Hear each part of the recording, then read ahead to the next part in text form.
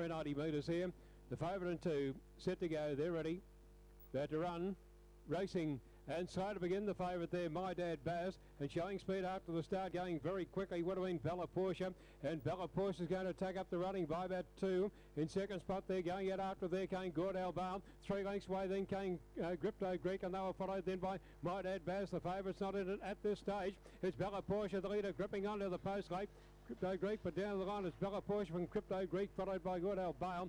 In behind them then came uh, Ruby Arizona. Uh, next over to the inside then came Sweet Chanel. And back at the tail, my, Del, uh, my dad Baz, and also Simo Gag, like in the time, round 22.64.